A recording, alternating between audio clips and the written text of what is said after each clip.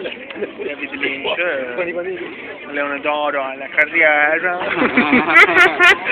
da Camilton Television, siamo di rosa, all'incontrario. Vieni un qua sotto.